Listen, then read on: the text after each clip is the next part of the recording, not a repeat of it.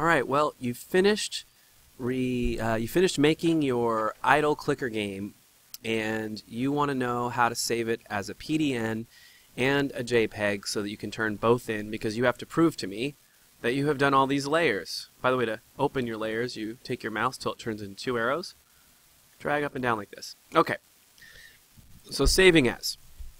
Most programs have their project file save, and then they have their um, export feature or saving as to save it as something that other programs can see and use. So, first I will go to Save As.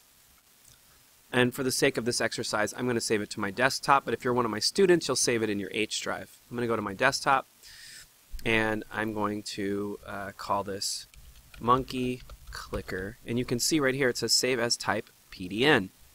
Save. Okay. Now it's saved. I've made sure I've saved all of my hard work, all my layers. I've got all my, my layers on separately, and, and they're all turning things on and off if I turn them on and off like they're supposed to. Now I'm going to save it as a JPEG file. Save as. Same exact place. You would go to your H drive. I'm saving to my desktop. Change this to JPEG. And now you'll see JPEGs on the desktop that relate to uh, that ty type of file. So I'm going to save. It's going to ask if you want to, you know, change the quality. I'm going to leave it the way it is. And I'm going to flatten, which is going to take all of these layers and flatten them all together. I describe this as the cooking process. You're cooking all the ingredients together so you can share it with your family. So we're going to make it shareable. That's step one. So now we've saved it.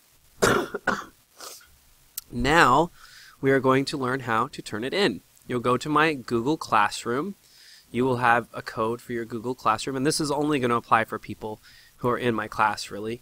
Um, but if, if, you, if you run a Google Classroom, um, you could use this as an example to show students how to turn things in.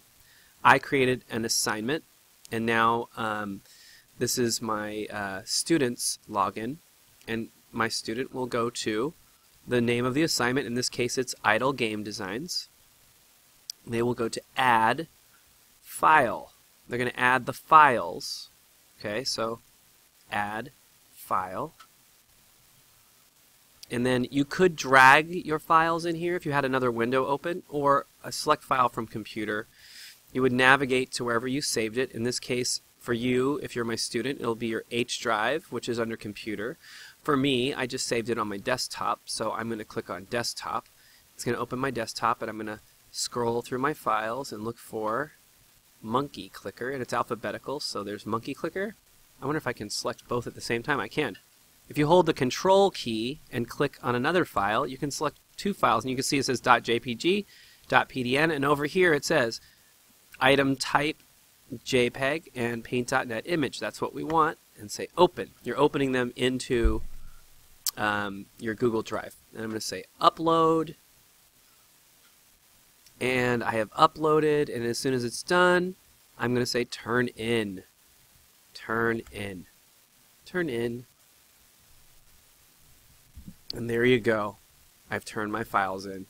Thanks for watching. This is Mr. Guiles with a in-class tutorial. Have a great day